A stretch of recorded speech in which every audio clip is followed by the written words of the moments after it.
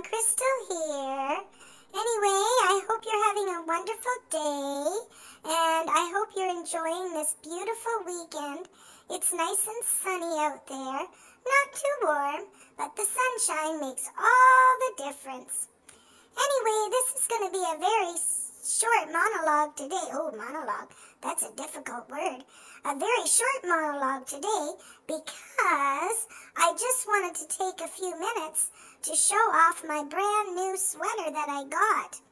I have some friends called Marty and Bob in the America lands, and my mommy went to the post office today and picked up this parcel from them. And inside was this beautiful sweater for me and a matching hat for my mom.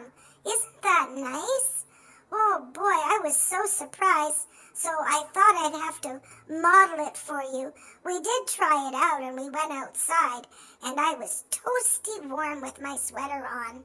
Anyway, that's all I have to say today. I think my mom's going to take me out for a walk now that I have a nice warm sweater to wear. And have a nice day, everybody. And remember.